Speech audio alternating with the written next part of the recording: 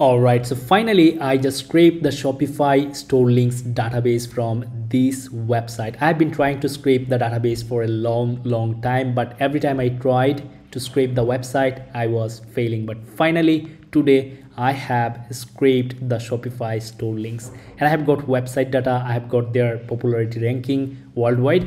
So it's really really a great time for me today uh, it is currently 4:49 am after a whole long working night i was able to scrape the database and if i just show you the database from here on this website you can see these are like uh, paginated by the numbers and after every three to five pages of scraping they are going to show you the human verification uh, which is really like um, troublesome.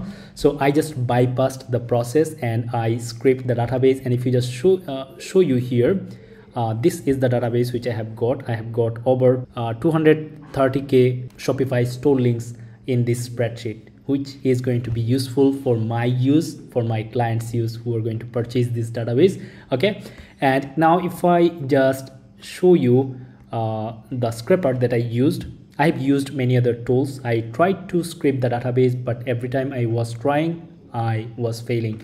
But finally, I tried this tool, as you can see here, Octoparse, Shopify stores from my IP.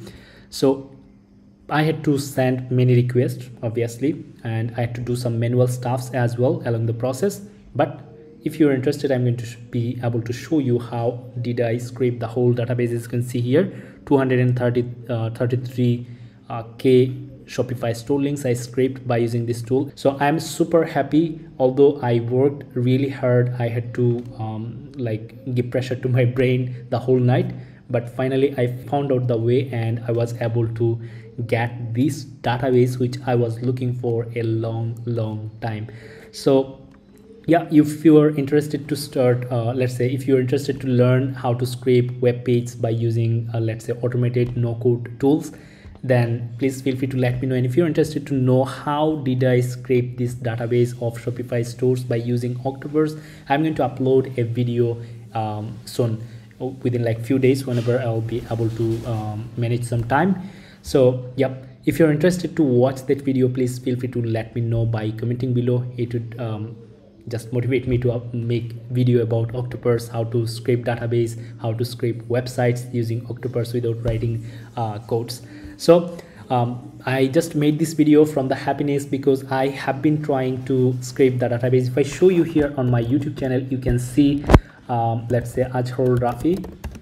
I was trying this for a long time. If I uh, make a search here, let's say Shopify, you can see over three years ago, uh, I tried for the very first time to scrape database of Shopify stores and recently last three months ago i tried again uh, for while i was actually working with a client i tried to scrape the database but i was failed. And not only these times i've been trying this for a long time but i was failing. But today i just got the success and this is the reason why i made the video. I'm really really happy um, to get the database. So yep that's it for the video. And if you're interested to learn web scraping i'm going to uh, I'm going to try to upload more videos about how to scrape uh, websites and build database for your clients.